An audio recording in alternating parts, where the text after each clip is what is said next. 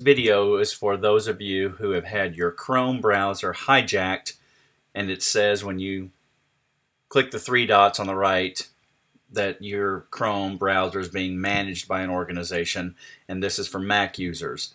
I scoured the forums and I found the solution. So the first thing that you need to do is find your policy list. Okay, so you go to Chrome colon policy. Whoops, forgive me.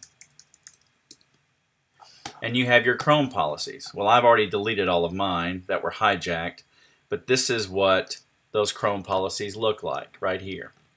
So these were my policy lists. And these policy names are very important because in order to unhijack your browser, you're going to have to type in these policy names and they have to be case specific. So go to your terminal and you type in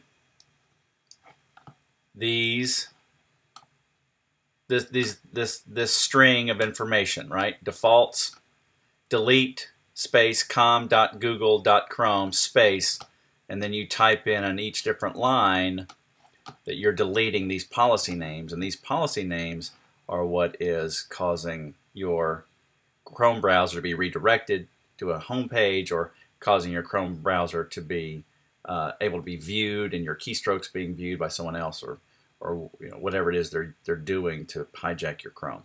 So once you do that in your terminal, then you will find your policies blank, shut down Chrome,